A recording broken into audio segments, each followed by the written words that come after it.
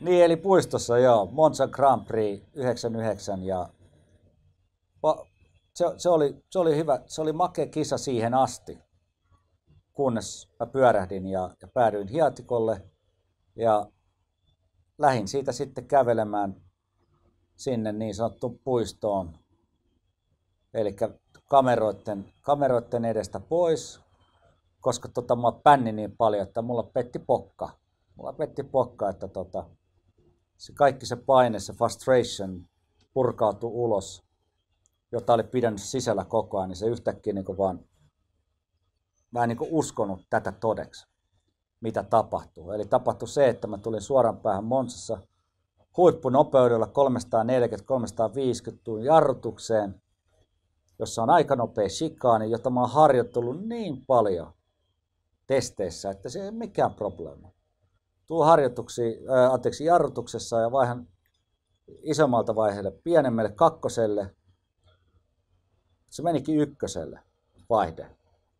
Ja tietokoneessa on ohjelmoitu semmoinen säätö, joka automaattisesti nostaa sun kierroksia moottorissa korkealle, ettei sun takapyörät mene lukkoon. Niin tämä flippi, niin se kutsuttiin flipiksi, se ei ollut tarpeeksi korkea. Eli se kierroksen moottorin kierrosmäärä ei noussut tarpeeksi korkealle, kun se ykkösvaihde meni sisään, jolloin takapyörät meni lukkoon. Ja kun takapyörät meni lukkoon, niin mä pyörähin sinne hiekalle. Mulla oli niinku turha sieltä sitten lähteä kävelemään ja haukkua tallia ja sanoa, että minkä virheen ne on tehnyt. Se oli mun oma virhe. En mä ykköstä siinä vaihtaa. Mutta ei olisi saanut sitä flippika olla niin matala.